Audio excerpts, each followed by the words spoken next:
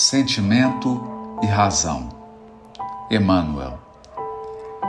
Nos círculos espiritistas, muito se tem falado de uma fé raciocinada, mas poucas vezes de uma razão iluminada. Se é certo que os sentimentos sem a fiscalização do raciocínio pode conduzir ao absurdo, o raciocínio sem o sentimento pode conduzir ao absurdo mais lamentável. O cérebro e o coração não podem viver separados na tarefa construtiva.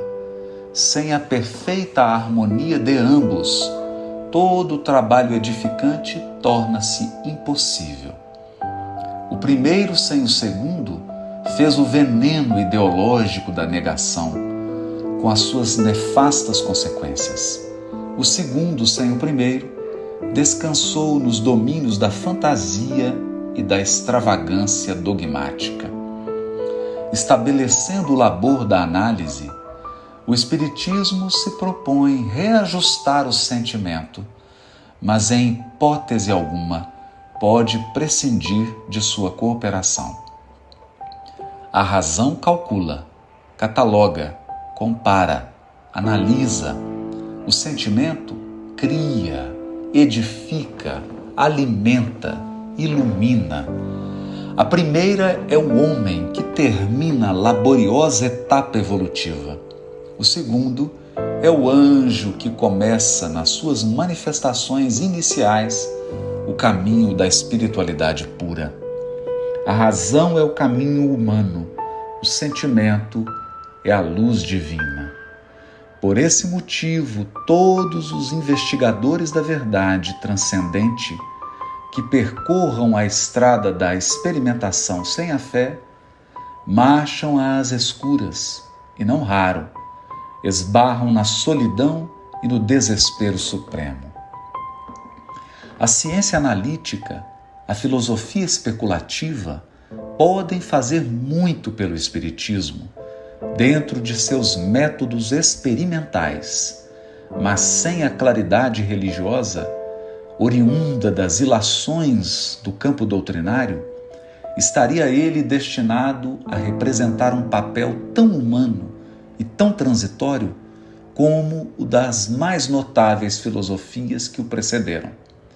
Abrindo as janelas douradas de seus castelos teóricos no mundo, acenando às almas com o jogo das palavras, mas passando, passando sempre no curso do tempo, acabando mumificadas no sarcófago das bibliotecas esquecidas.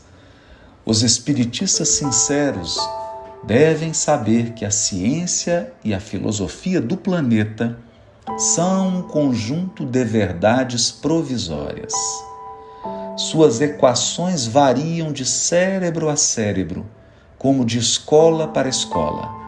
Sem estabilidade no tempo, ambas acompanham os voos do sentimento, de quando em quando, aceso pela fagulha do gênio, que despreza a rotina e o convencionalismo para iluminar a estrada do futuro infinito.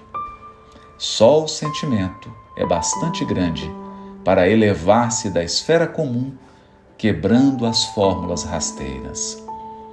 É por essa causa justa que o espiritista cristão, invocando o raciocínio em todos os instantes da vida, não deve esquecer sua iluminação própria na fé, de sua elevação sentimental, de sua riqueza interior.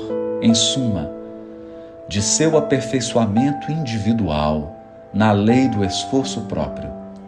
E é ainda por isso que todos os trabalhadores espirituais da grande causa centralizam os seus ensinamentos em Cristo Jesus, fundamento de toda a verdade sobre a terra e modelo supremo de todas as criaturas humanas, em face de sua necessidade imediata de renovação interior.